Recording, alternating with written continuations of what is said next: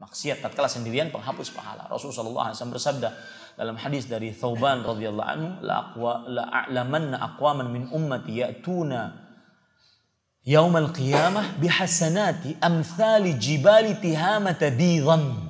Aku akan beritahukan Aku sangat mengetahui orang-orang dari umatku datang pada hari kiamat dengan pahala bergunung-gunung pahala Tihama. Kenapa disebutkan gunung Tihama? Karena gunungnya sangat terkenal tinggi dan besarnya di negeri Yaman. Orang-orang Arab mengetahuinya. Kemudian fayaj'aluhallahu azza wa jalla haba'an manthura. Allah menjadikan pahala bergunung-gunung tersebut seperti debu-debu yang berterbangan. Haba itu Anda lihat matahari, kemudian ada hal yang berterbangan itu haba. Sekecil itu. Kemudian Thauban radhiyallahu anhu maula Rasul sallallahu alaihi wasallam bertanya, "Ya Rasulullah, sifhum lana, jallihim lana, alla nakuna minhum wa nahnu la na'lam." Ya Rasulullah, terangkan kepada kita, jelaskan siapa mereka agar kita tidak seperti mereka dalam keadaan kami tidak sadar. Maka Rasul sallallahu alaihi wasallam mengatakan, "Innahum min ikhwanikum."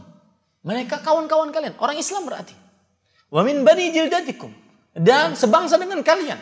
Maksudnya orang Arab yang bisa berbahasa Arab. Kemudian ya'khuduna minal lail kama ta'khudun. Mereka bangun malam sebagaimana kalian bangun malam. Walakinnahum idza khalau bimaharimillah intahaquha.